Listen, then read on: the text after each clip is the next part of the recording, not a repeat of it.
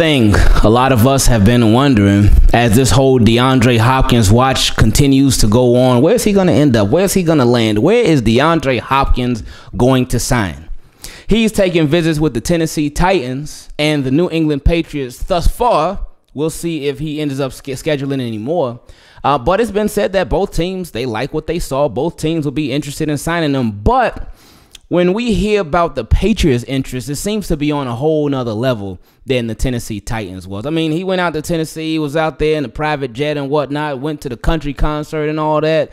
Apparently had a good time, but then it, with New England, it just seemed to be a little bit different because we keep on hearing these reports that that interest is really, really mutual, and the Patriots really, really want to land DeAndre Hopkins. I mean, I couldn't blame him. You got a young Mac Jones. You just gave him Juju Smith-Schuster. Excuse me, Super Bowl champion Juju Smith-Schuster.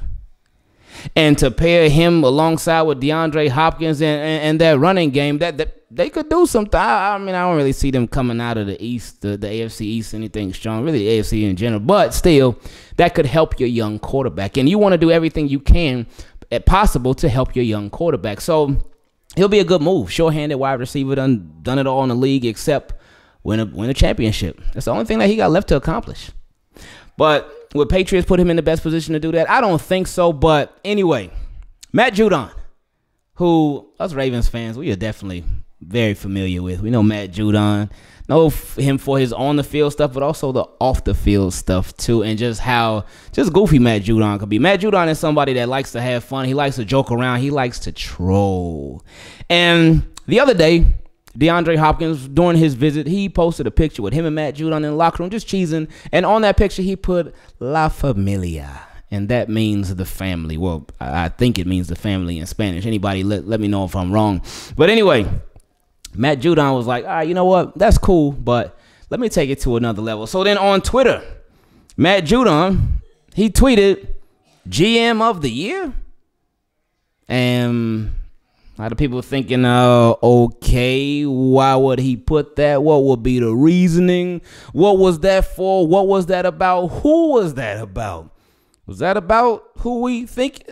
Or could it, uh, and somebody replied to him and said, Uh, not yet. You haven't done anything respectfully. Obviously, I think that would be geared more towards uh, Bill Belichick, Robert Kraft, and just the whole New England Patriots front office um, because we haven't heard anything. We haven't heard an announcement or anything that anybody's been signed, or DeAndre Hopkins specifically. So that's who that was for. And then Matt Judon's response, he just sent the gift. Just like, mm, and and that could lead a lot of us to believe, like, hey, is is is something on the way? Is, is something brewing over there in New England between them and DeAndre Hopkins? Could it be? Could they have everything that DeAndre Hopkins is looking for in a team to continue his career? Is the bread gonna be right? Is the chemistry gonna be right? Is the, the team environment gonna be right? Is, is, I mean, it is a pretty well run organization, I'd say so. You got the coach. The defense is solid. And I mean, they could get better, even better this year. So, what's up? I mean, the whole quarterback thing, that's a little question mark still, but got a lot of other stuff. And, and, I mean, if the money comes right, if the money is right, then DeAndre Hopkins might be like, forget that list that I was talking about. I ain't worried about none of that. But could Matt Judon be on to something? Does he know something? Or is he just trolling? Is he just playing the game? And I guess it's just one of those things that we really won't know till we know. Because players, man, players will do this type of stuff because pl- players are in the know. They in, well for some stuff they're in the know. Because if you remember, uh, just this year with with Ravens, remember when um there were the rumors going around that the Ravens were interested in Darius Slay. They were ready to get Darius Slay cornerback from the Philadelphia Eagles, who the, it was said that the Eagles were getting ready to release him. And because they couldn't find a trade partner or nothing, so it was said that they were getting ready to release him. Um, and then you saw some Ravens players, especially like Marlon Humphrey, tweeting the eyes emojis.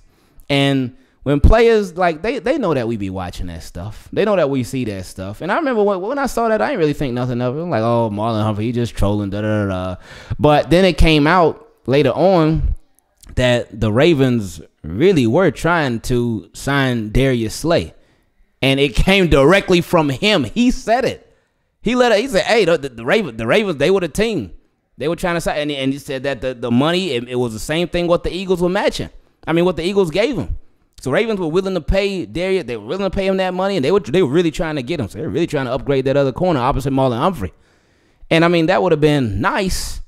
But I wonder how they, the rest of their offseason would have went if they would have made that move. I mean, they could have still went crazy, but I guess it's just one of those things that we'll never know. But I say all that to say this: that players they know some stuff, and when you see different like little emojis and stuff, different stuff that they be tweeting, hey, they may be on to something. But with Matt Judon, it's like, man, because we know that he's such a troll. We know he's such a troll, but could he actually mean business this time? I guess we'll just have to wait and see, baby. Team keep it clean. I love y'all. Let me know what y'all think. You you think DeAndre Hopkins, if big if, capital I F, if DeAndre Hopkins does go to the Patriots, you think they could make some noise? You think that would be a good fit? You think they could shake up the AFC East? Or do you think it would just be like, oh, okay, he went to the Patriots. All right, it is what it is. Anyway, let me know. I love y'all. I appreciate y'all. Make sure you subscribe to the channel. Turn your notifications on so you do not miss not one single thing. And just like it comes to DeAndre Hopkins being in free agency, soon enough he could end up finally being. But hopefully it's not with the Patriots. Hopefully it ends up being with the Ravens. But we'll see. I, I mean, we'll see. I love y'all.